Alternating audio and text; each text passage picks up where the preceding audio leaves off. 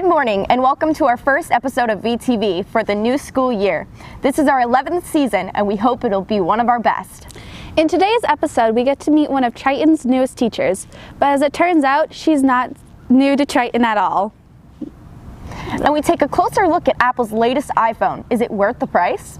These stories and more today on VTV.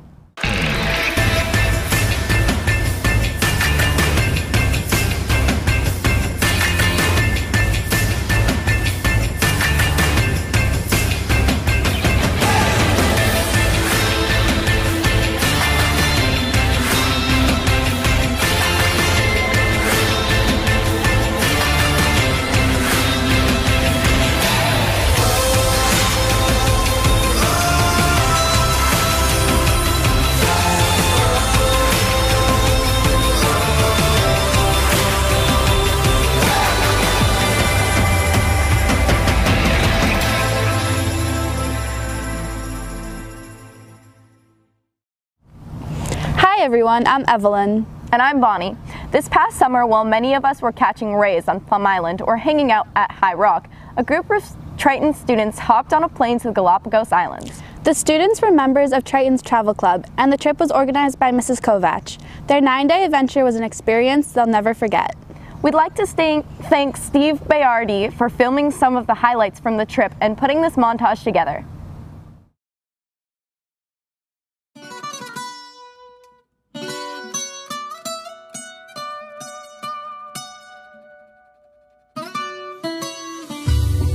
Move that in my direction.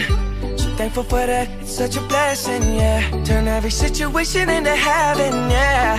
Oh, oh, you are my sunrise on the darkest day. Got me feeling some kind of way. Make me wanna savor every moment slowly, slowly. You fit me, tailor made love how you put it on. Got the only key, know how to turn it on. The way you nibble on my ear, the only words I wanna hear. Baby, take it slow so we can last long. Tú, tú eres el imán y yo soy el metal. Me voy acercando y voy armando el plan. We're on the move. Let's go. Oh yeah, ya, ya me está gustando más de lo normal. Todos mis sentidos van pidiendo más. Esto hay que tomarlo sin ningún apuro. Despacito, quiero respirar tu cuello despacito. Deja que te diga cosas al oído. Para que te acuerdes si no estás conmigo. Despacito, quiero desnudarte a besos despacito. Firmo las paredes de tu laberinto. Y hacer de tu cuerpo todo un manuscrito. Quiero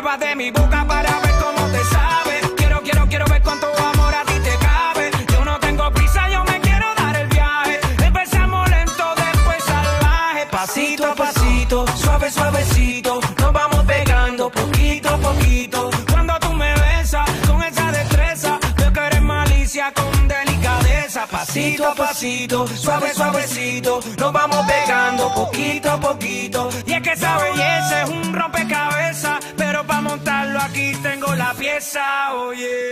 Despacito, quiero respirar tu cuello despacito. Deja que te diga cosas al oído. Para que te acuerdes si no estás conmigo. Despacito, quiero desnudarte a besos despacito. Firmo en las paredes de tu laberinto. Y hacer de tu cuerpo todo un manuscrito.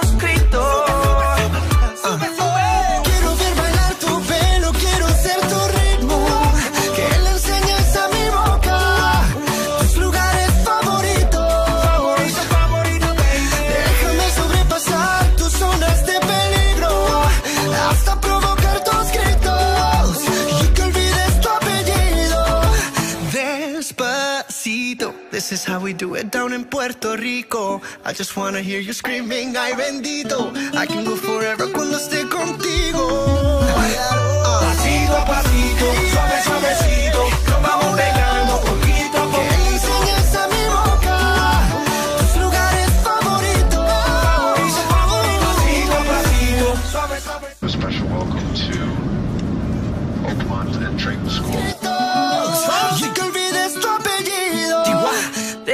Despacito. It's always exciting to come back to school after the summer and catch up with friends we haven't seen in a couple of months. It's also fun to see some of the changes around the school and meet the new teachers that have been hired that bring new energy to our classes. Miss Richards is one of Triton's new teachers, but although she is new to us, she isn't new to Triton. Miss Richards graduated from Triton in 2013 and VTV's Alexandra Floodman caught up with her to learn more.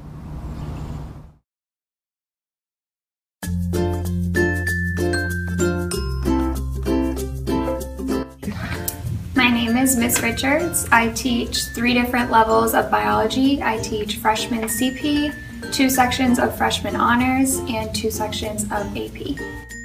I went to elementary school at Salisbury Elementary and moved on to the Triton Middle School and High School. From here, I started my freshman year at UMass Amherst and then transferred the following year to UMass Lowell, and that's where I graduated with my degree in biology. Um, when I was younger, I actually wanted to be a lawyer. Um, so when I was a freshman here, I took Mr. Fisher's business law class because that's what I wanted to do. Um, I like to talk law and I was pretty good at arguing. Um, when I was in high school, I spent a lot of time outside with my friends, so we would walk around Newburyport a lot. Um, when we didn't do that, we were going to a lot of concerts. I spent a lot of my high school going to concerts with my friends. If I could change one thing about the school so far, I would say the dropped schedule. Uh, it's really hard to keep classes on the same track when you're dropping a class every handful of days. Um, if I had the power to change one thing about the world, it would be to, pay, to make people more accepting of each other. I think that's an issue we have both in the school and in the real world is a lot of people don't stop to hear somebody else's story, so it's hard for them to accept one another. My favorite part about teaching is when you can explain something to a student and it finally clicks. Um, when your students are confused, you can kind of get an idea about that, but if you explain it just the right way, you can see the light bulb go off, and I think that's awesome. Um, one of my struggles with teaching is getting to know the mix of personalities and how they get along with each other in the class. Um, it's hard to bring out the best in each person while you're still getting to know them. So hopefully that's what I'll be doing over the years, getting to know my students a little bit better. Um, my favorite memory about being a Triton student is probably the homecoming that we do every year just before Thanksgiving break. Um, I think it's a great time to get to know your class a little bit better. Um, it kind of unifies everybody together in like a common goal of trying to beat out everyone else in Triton, and the skits were really funny too. I'd say one of my strengths in the classroom would probably be an ability to understand what my students are struggling with um, and what their questions actually mean. Sometimes, as a teacher, it can be difficult to understand what somebody's asking you, but I have a pretty good knack for that and an ability to be able to answer exactly what they're asking instead of going on some long tangent that has nothing to do with what they're asking you. Um, learning Aspen has been a little bit of a struggle. On a scale of 1 to 10, I would say I'm at like a 6. I'm getting a little bit better. I had some training the other day, so I'm learning, but it's still a little difficult. Um, My go to snack right now, just because I have a big sweet tooth, is Reese's Pieces. I've been craving it a lot lately. This year marks the 10th anniversary of the release of Apple's first iPhone. As most hardcore iPhone users know, the company releases a new iPhone model each September. This September was special, and the anticipation has been high to see what the what Apple would pack into the 10th anniversary edition of the iPhone. Well, the wait is over and the iPhone X is here. But is it worth the $1,000 price tag? Alyssa Stone asked some of you what you thought of the new iPhone and if you'd shell out that kind of dough for its new features. The iPhone X just recently dropped and everyone is clamoring to get their hands on one. But is it really worth that $1,000?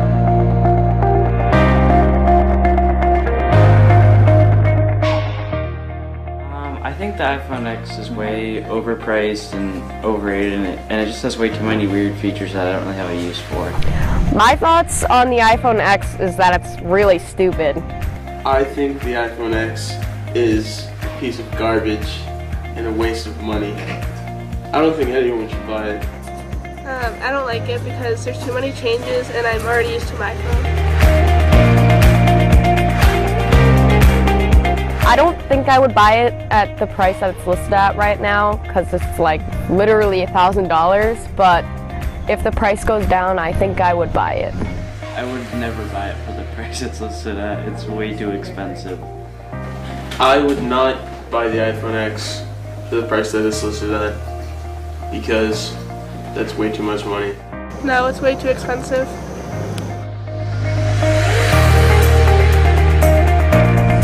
My thoughts about the wireless charging. Um, I think that the charging is really stupid because when you're trying to use your phone while it's charging, you can't use it because it's charging on a like a platform thing. So, I mean, people are saying you can just pick up the platform while you're using your phone, but that's like that's a lot of work. So, I I think the charging is is really stupid. Should be fixed. I mean, I think it's good because you can charge multiple devices at once, but personally, I think it's more it's more hassle than it, it's worth. I don't like it. I think it's a waste of time.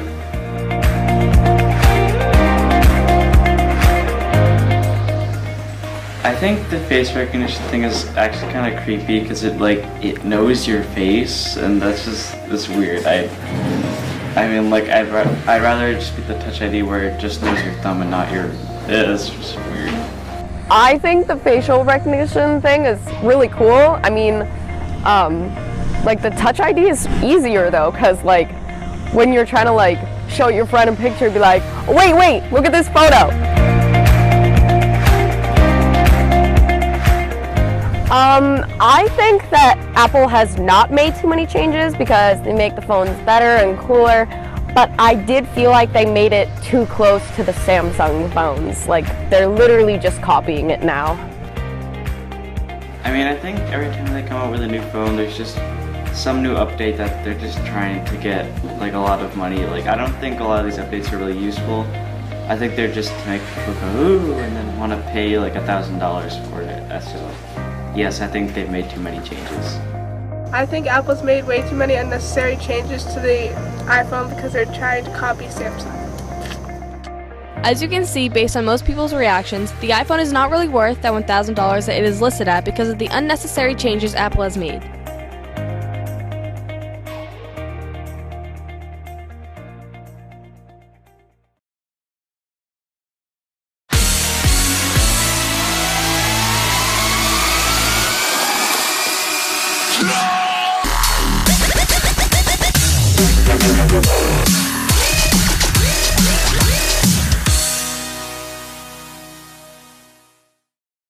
Everyone, I'm Ava, and this is your Triton Vikings Sports Take of the Week. First up, the girls volleyball team took the W in Monday night's game, beating the Georgetown Royals in a close matchup that went into the fifth set. The boys soccer team took a tough loss in Monday night's away game, losing 3-0 against Ipswich. But back home, the girls soccer team beat the Tigers in a close game, winning 3-2. The girls were down 2-1 in the first half, with 20 minutes left in the game. Meredith Kennedy scored the last two goals to clinch the win on senior night. Way to go, Meredith. Finally, in Tuesday night's game, the girls field hockey team took a shutout win against Ipswich Tigers, beating them 5-0. Tomorrow night, the boys soccer team will host a home game against the Clippers at 7 o'clock. The girls volleyball team will also be hosting a home game at 5.30 against Everett High School. And the boys football team will be on the road playing Masco, hoping to get another win after last week's game, beating Amesbury 34-27. Also, the cheerleading team will have its first competition this Sunday at 11:10 in Tewksbury. I'm Ava, and that was your Triton Vikings Sports Take of the Week. See you next time. Evelyn, do you have any pets at home? I do. I have a little cockazoo puppy named Kona. She's a year and a half. Aw, that's cute. For the animal lovers out there, you probably think of your pet as a member of your family, maybe even your best friend. Like any friend, our pets deserve our attention and affection. But sometimes our lives get so busy that we forget to spend the quality time with our pets that they need. What if they could tell us how they're feeling? That's the idea behind this short film by Sam Bell. Enjoy!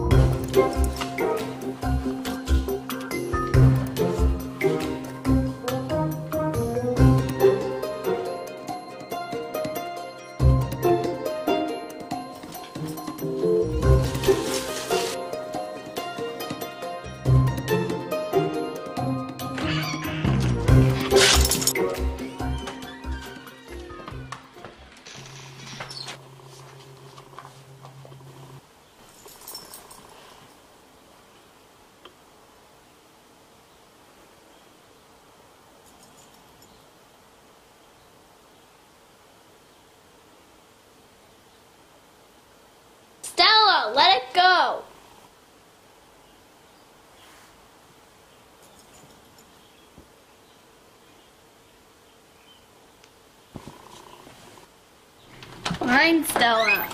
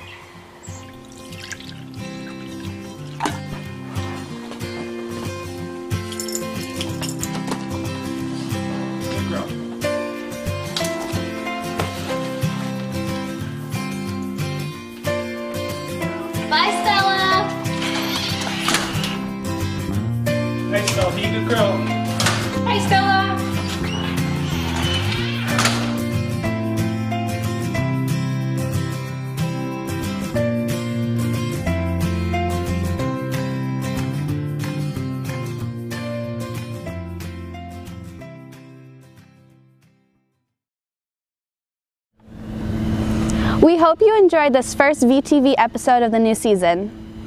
As always, a big thank you for, to the teachers for taking the time out of their classes to show it. Until next time, I'm Evelyn. And I'm Bonnie. Have a great day, Triton. It's green. Mine's it's gotta green. be green, right? Yeah. Alright, number two starts. Sorry. There's a bee on you. Pull it together. Apple's latest iPhone. Is it worth? This bee is sketching me out. So I stay up. Ah! What? Oh, you got stung. Ah! you have a little red dot there. Stings! The mosquito on you. Oh, just kidding. He's gone. You get him?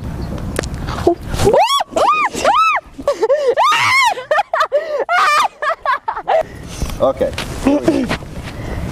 Yeah, I know. That was gorgeous.